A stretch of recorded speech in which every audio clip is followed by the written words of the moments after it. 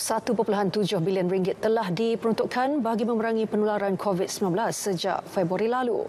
Ini termasuk agihan 1 bilion ringgit kepada Kementerian Kesihatan, 250 juta ringgit kepada Agensi Pengurusan Bencana Negara NATMA dan 247 juta ringgit kepada Kementerian Dalam Negeri. Kementerian Kewangan dalam satu kenyataan memaklumkan kerajaan bersedia menambah peruntukan sekiranya perlu bagi memenuhi keperluan petugas barisan hadapan. Berikutan gelombang terbaru yang melanda Sabah, peruntukan tambahan berjumlah 44 juta ringgit turut disalurkan kepada KKM untuk mengukuhkan barisan hadapan kesihatan negeri. Ia meliputi penambahan peralatan pelindungan diri, bekalan perubatan dan kelengkapan perubatan. Majlis Keselamatan Negara MKN turut meluluskan peruntukan tambahan 50 juta ringgit kepada NATMA untuk menyokong usaha menangani penularan wabak tersebut.